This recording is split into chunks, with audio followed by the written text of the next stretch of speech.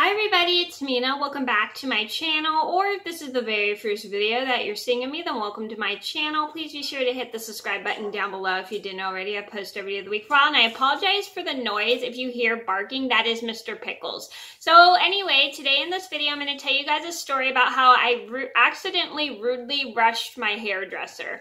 So this is a story just to teach you guys never rush like your hairdresser when they're cutting your hair because they're doing you a favor by helping you out by doing your appointment for you. And it's never good to really rush somebody unless you have um, places you need to be which i which you understand which they understand but it's always just good to be considerate because they're doing you a favor by cutting your hair. So i'm going to get started and let me know if you guys have accidentally done that before and I felt bad that I did it but I glad but I'm very glad that I learned not to do that so I'm gonna get started. So this all started when I was in the fourth grade.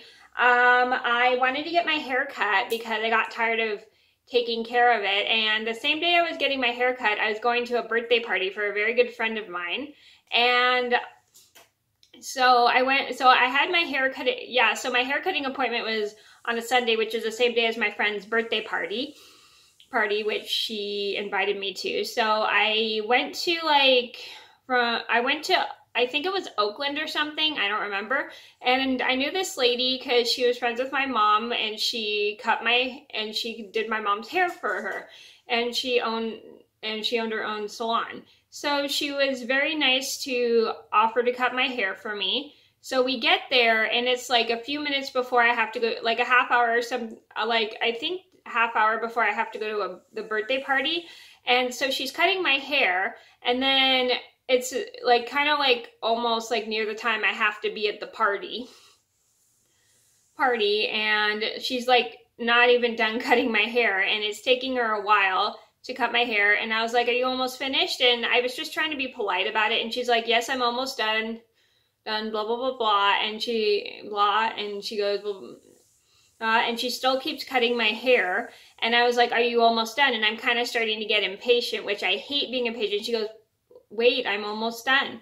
And then my mom was trying to explain to the hairdresser that I had to go to a birthday party that day, and she felt and the um and we were kind of already late and she and my hairdresser felt really bad that and she's like okay um, i'm almost done. It did take her quite a while but i felt bad for getting impatient because she was doing me a favor and i was accidentally rushing her because i was trying to get to a birthday party so i could get there in time because i was already like five minutes late for the birthday party.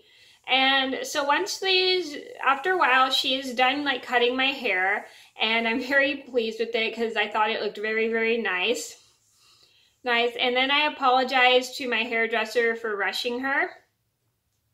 Her and she um was very forgiving and she said that's okay. I'm so sorry that I took so much time into time and if I made you late for your party and I was like that's okay. I would forgave her and so but I actually came to the party in time. I wasn't um I wasn't exactly late. Um we kind of left quickly right after she was finished. And then um I came to the party like right on time and I was very happy I got there like right when everybody arrived and when I walked in nobody at the party recognized me from my um short hair hair. And they're like, Mena, is that you? Blah, blah, blah, blah. Because they were all used to me with long hair at the time because I had hair down to the middle, down to my bottom. And I cut it that day and I was, everybody like, nobody knew, nobody recognized me because they were all so used to me with long hair. hair, which was very, very um, interesting thing because I had never cut my hair short at the time. I always had it long, long ever since I was a kid kid and I had it to get it cut because I wanted to get it cut because I got tired of having trouble taking care of it so it made it much easier. So easier. And then the next day I see my hairdresser. I apologize to her for rushing her to get my hair done and she's like that is okay. I'm very sorry. I sorry I it took me so long to cut your hair and she was very polite about it and she was very forgiving too, which I was happy happy and then we did happy and I was very happy that she forgave me and I even though I did feel bad for rushing her. So the moral of the story is if somebody's doing a, you a favor by cutting your hair for you, please always remember not to rush people because it is kind of rude because they are doing you a favor.